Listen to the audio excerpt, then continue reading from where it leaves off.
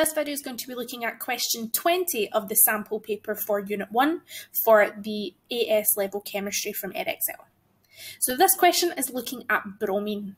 And to start us off, we want to start nice and simple about completing the electronic configuration for a bromine atom using our SPD notation.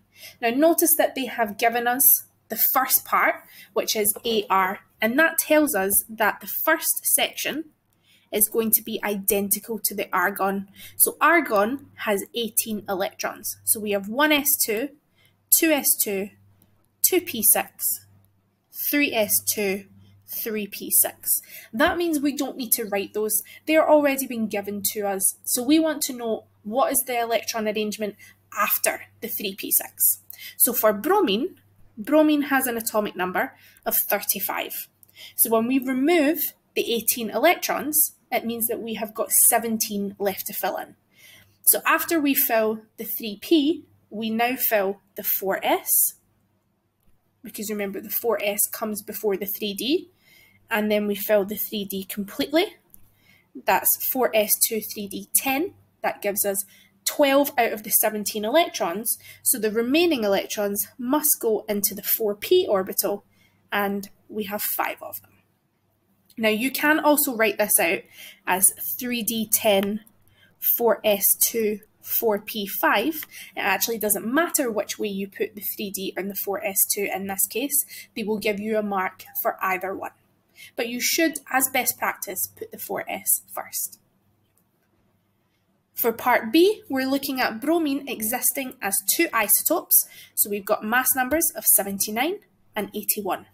And we want to look at the numbers of subatomic particles. And we're focusing on a 79 bromine atom and then an 81 bromide ion.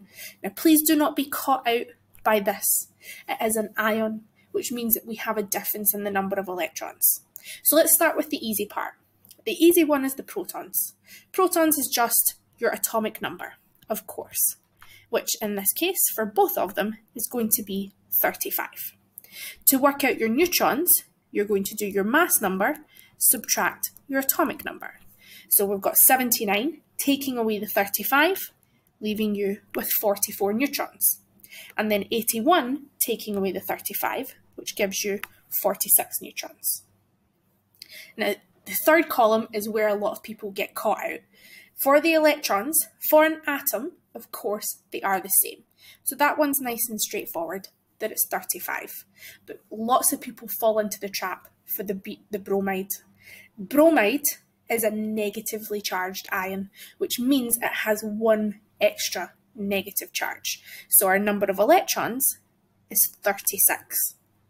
Now that might seem like a very simple question, but in the heat of the moment in an exam, it's very easy to be tripped up by that. So please make sure to read the question carefully. For part two, we've got a sample of bromine that contains equal amounts of the two isotopes, and we want to complete the mass spectrum to show the peaks that we would expect for the Br2 plus in this sample. So what we have to look at is what the ratio is going to be and where the peaks are going to be. So we're told that we have equal amounts of the two isotopes. In other words, I have got the 79 is 50% of the sample, and the 81 is also 50% of the sample.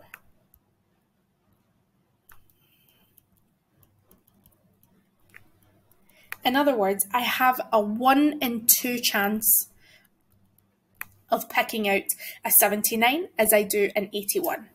So now I'm going to look at the different combinations. Well, I can get two 79s being selected.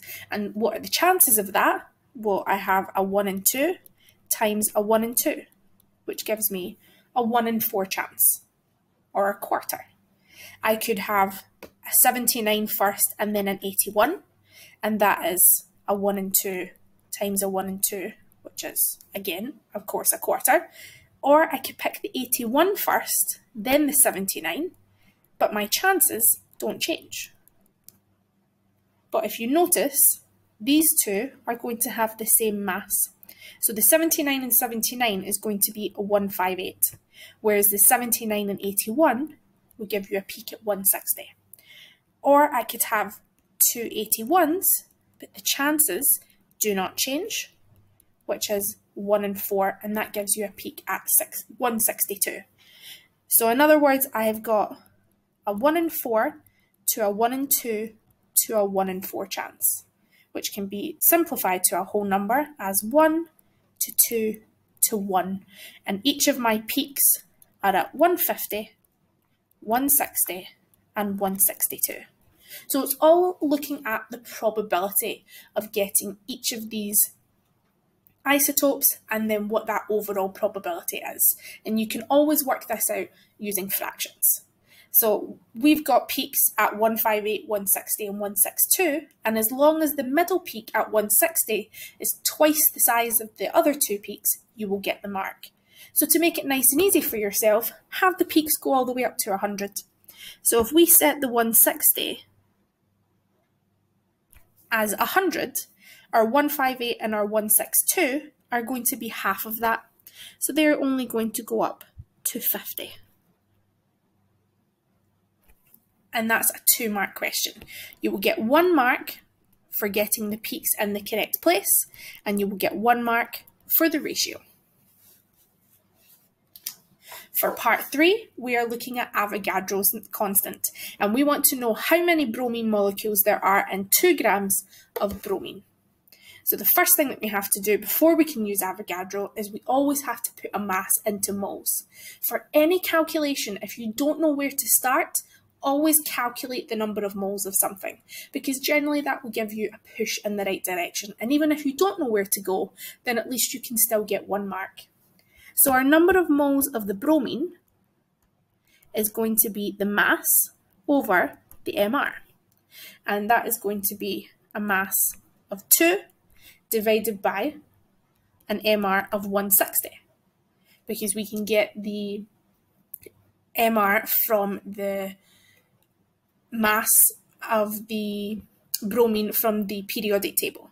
And that's going to give us a number of moles of 0.0125.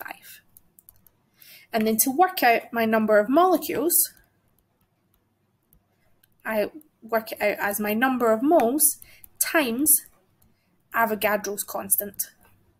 In other words, 0.0125 multiplied by 6.02 times 10 to the 23, and I get a final answer of 7.525 times 10 to the 21.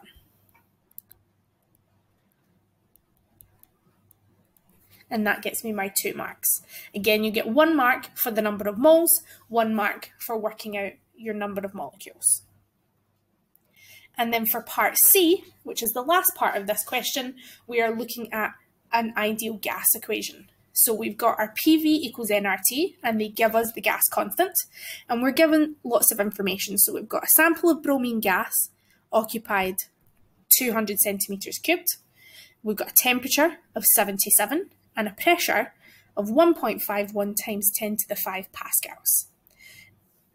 Now, for a calculation like this, again, there's a lot of numbers here. So the best thing to do is pick them out and write down what you have. So you know the equation you're going to be using is P, V is equal to N, R, and T. And list everything that you know. So if we start off with P, our pressure, we know that that's 1.51 times 10 to the power of 5 pascals. And our pressure should always be in pascals. Our volume is 200 centimetres cubed. Now I have to put that into decimeters cubed and then into meters cubed. So in order to do that, I need to divide it by 1 million. So this is going to become 200 times 10 to the minus 6 or 2 times 10 to the minus 4 meters cubed. Our n is our unknown. Our gas constant is given to us, so 8.31 joules per mole per Kelvin. And our temperature, we're told, is 77 degrees Celsius, but of course our temperature should always be in Kelvin, so that becomes 77 plus 273, giving you 350 Kelvin. Now we can substitute everything in. So we know that PV equals nRT. And we can rearrange it to tell us that the number of moles is the pressure times the volume divided by the gas constant times temperature. And then we just substitute everything in. So we have got 1.51 times 10 to the power of 5 multiplied by 2 times 10 to the negative 4 all over the gas constant 8.31 times 350 Kelvin and our number of moles comes out at 1.038 times 10 to the minus 2 moles. And you can write that as a decimal or you could simply leave it as the standard form. Either one is perfectly acceptable. If you do decide to write it as a decimal, just be very aware of making sure that you have the correct number of zeros. That is all of question 20, which is an 11 mark question, and it all covered bromine, but it covered different topics. So we started off with the electronic configuration and mass spectrometry from topic 2, and then moved over to the calculations from topic 1.